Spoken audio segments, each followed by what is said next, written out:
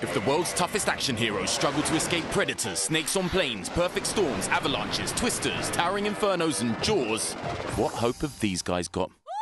Stick with us, and together we'll get through any disaster. Joel Dommett and Eric Lampaert bravely take on the same challenges faced by Hollywood's finest and discover the tricks to staying alive in the deadliest of situations. I have captured an alligator. I don't want to get eaten. Is this one poisonous? How to Survive a Disaster movie starts Wednesday, 10th of October on 5 Star.